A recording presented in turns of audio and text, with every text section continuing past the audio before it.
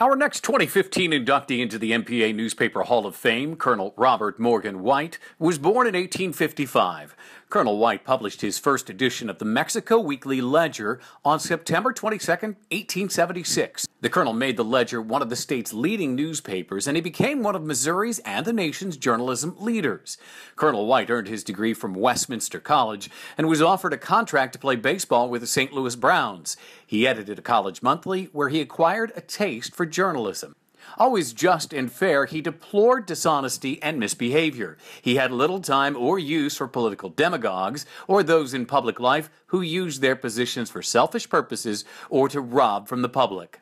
Apparently, the town could tell time by where the colonel was at any particular time. He was a large man, 6'3, about 180, uh, dressed in black, black hat, uh, rode a black stallion.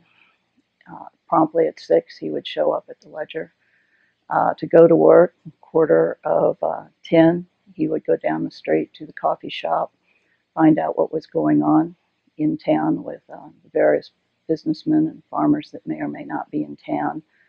Uh, he was known to always be in a flurry. He had papers sticking out of his pocket. Um, he was writing notes down. He, he never walked or rode at a walk. He galloped. Colonel White served as president of the Missouri Press Association in 1885. His son, L. Mitchell White, 1921, and his grandson, Robert M. White II, 1984, served as MPA presidents and are members of the MPA Hall of Fame also. If you were identifying something that was wrong in the community, you always provided a solution. Uh,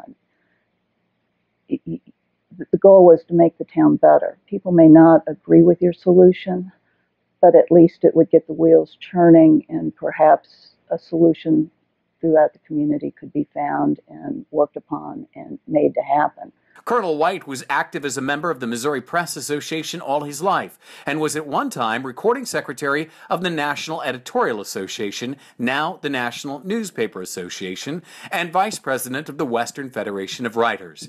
He was a leader in church, civic, and charitable organizations in the Mexico community. A newspaper editor in Warrensburg in 1885 noted, Bob White's paper, The Ledger, has done more for the town of Mexico than of all of its citizens combined. The Ledger is to Mexico what the heart is to man.